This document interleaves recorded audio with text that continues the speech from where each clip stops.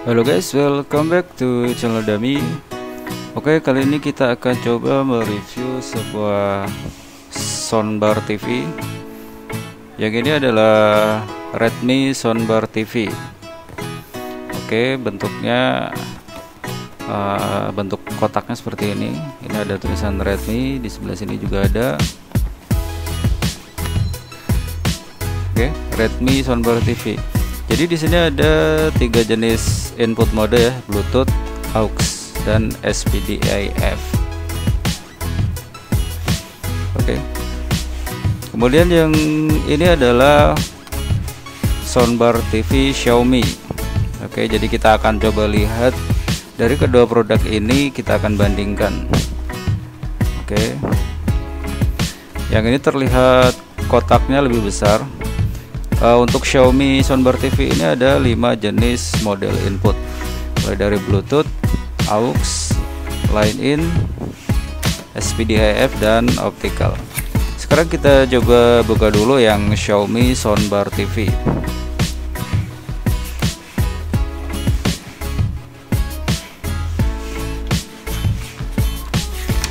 Oke, di sini ada user manual Oke, bertuliskan bahasa Mandarin.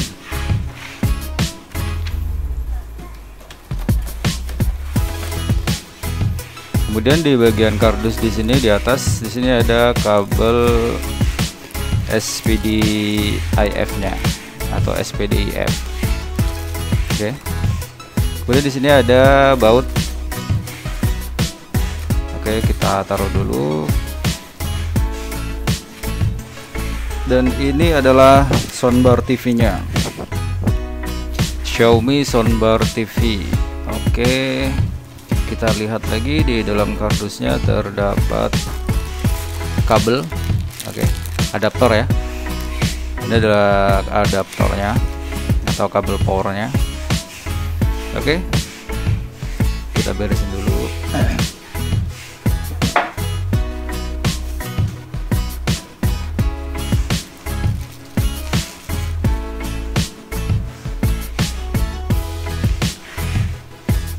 Oke, ini kabel adaptornya.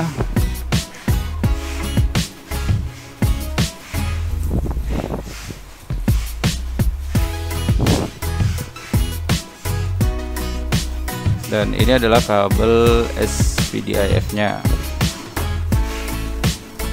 Oke, berikutnya kita buka soundbar TV-nya ya. Ini ada dua varian untuk Xiaomi soundbar TV. Ini saya coba buka yang warna putih. Untuk warna putih di bagian depan adalah um, warnanya uh, sedikit keabu-abuan. Ini bagian depannya. Kemudian ini adalah uh, tempat powernya, kabel power, SPDIF, AUX ada di situ, optical juga ada di situ. Ini untuk uh, ini semuanya ada, oke. Okay. Dan ini adalah opsinya, ada 5 mode input. Oke. Cukup keren yang ini bagus modelnya.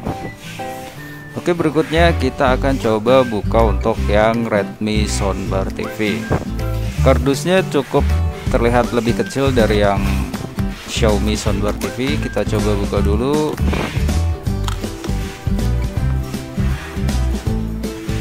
Oke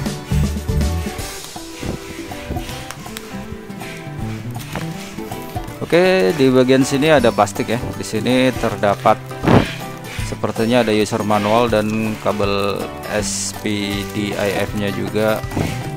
Coba kita buka. Kita cek yang ini dulu. Oke, ini kabelnya. Oh, modelnya begini ya. Lebih sepertinya lebih ringan kabelnya daripada yang Xiaomi TV tadi, yang Xiaomi kemudian di sini ada baut. Oke seperti ini. Dan di sini user manual. Oke semuanya berbahasa Mandarin seperti yang satunya.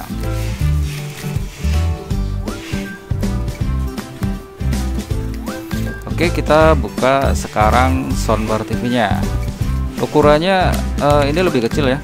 Cuman panjangnya sepertinya sama. Ini lebih ramping lebih kecil kita buka ini dulu. Uh, Oke. Okay. Uh, ini kabel powernya dia langsung nempel, jadi tidak menggunakan adaptor tersendiri ya. Jadi, oke okay, ini SPDIF. Uh, satunya lagi adalah AUX atau AUX. Oke, okay, jadi nanti ini dipasang di sini untuk disambungkan ke TV. Oke, jadi belak bagian belakangnya cuma seperti ini ya, karena dia cuma ada tiga mode inputnya saja. Kemudian untuk pengoperasian dia di bagian ujung sini ya, terlihat di situ bagian atas power, bagian bawah mode, bagian atas power, kanan kiri untuk volume ya. Oke, simple. Dan ini ukurannya lebih kecil dari yang Xiaomi. Yang Redmi ini lebih ramping. Cuma nanti kita tes lebih mana lebih bagus mana suaranya. Oke kita coba yang soundbar TV dulu ya. Oke kita colok dulu di sini. Kita hidupkan dan kita pilih yang mode Bluetooth.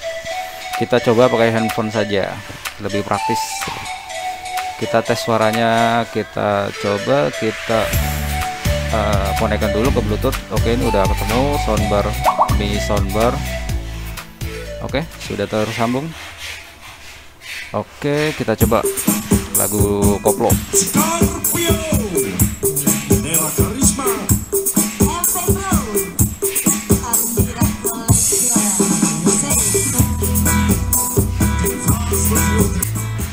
Oke, mantep suaranya.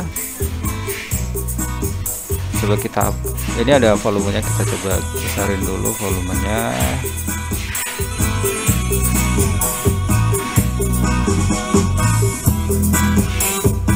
Oke, kita full di handphone coba. Oke, bassnya mantap sekali, eh, benar-benar kenceng dan tidak pecah. Bagus, bagus, bagus, keren. Ini untuk kayak di home theater gitu ya, bagus. Suaranya eh, cukup menggelegar dan tidak pecah, bagus. Untuk bassnya juga kuat.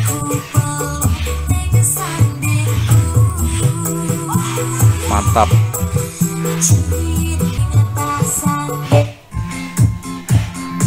Uh, sekarang coba kita yang lagu ke agak ke rock lagu-lagu punk.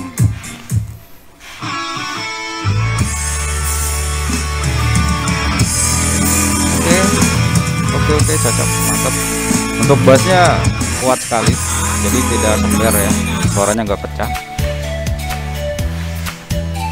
Oke berikutnya kita akan coba yang Redmi. Ini lebih kecil cuman kita coba suaranya bagaimana. Oke kita coba hidupkan dulu di sini. Oke udah hidup. Kemudian untuk modenya kita pilih yang bagian uh, sini bawah. SPD ini aux. SPDIF Oke, ini Bluetoothnya. Oke, kita cari dulu. Oke, Redmi TV soundbar terlihat di sini ya. Oke, kita konekkan. Oke, sudah connect. Sekarang kita coba tes lagu koplo ya.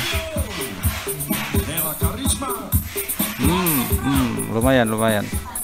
Oke, bassnya kuat juga di sini. Bassnya kuat. Oke. Oke kita coba volumenya kita tes dulu.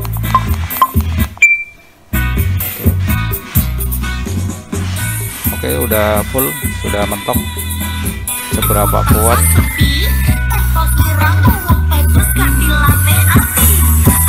Wow oke. Jadi seperti ini ya kurang lebih suaranya lumayan bagus suaranya bagus. Jadi perbedaan antara dua soundbar TV ini adalah hanya di uh, mode inputnya. Kalau Xiaomi dia ada 5 kalau Redmi dia cuma ada tiga. Untuk suara juga nggak kalah keren dia bagus tidak pecah dan tidak sember ya. Oke sekian dulu pembahasan dari Dami. Jangan lupa di like di subscribe dan di share ke teman-teman kalian semua